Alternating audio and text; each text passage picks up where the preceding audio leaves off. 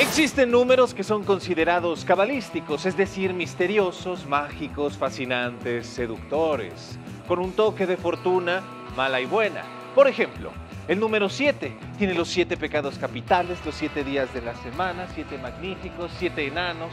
El 4 compite con las cuatro estaciones, los cuatro puntos cardinales, los cuatro jinetes del apocalipsis, cuatro fantásticos, cuatro hojas en un trébol, cuatro patas y abro debate.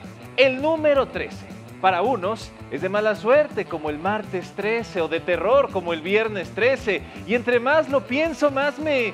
Incluso arquitectos y constructores omiten el piso 13 en sus edificios. También está el número 3 con la Trinidad, el tridente, el monstruo de tres cabezas, los tres chiflados, el triángulo y hasta las órdenes de tacos vienen de a tres en tres. Pastor, bistec, longaniza y tripa revién tostada, siempre que se pueda. Pero hay otro número que incuestionablemente es de buena, muy buena suerte. El 69. Porque es equilibrio, movimiento, es el yin y el yang, obscuridad, tú arriba y yo abajo. Es casi 70.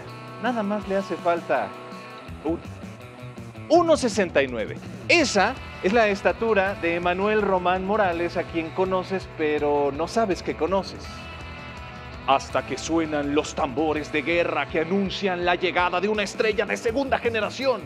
Un luchador que domina las alturas, un jinete del aire, el hijo de Odín, el hijo de Escandinavia, Escandinavia Puebla, el hijo de una cultura guerrera y sangre fría, el hijo, el hijo del vikingo.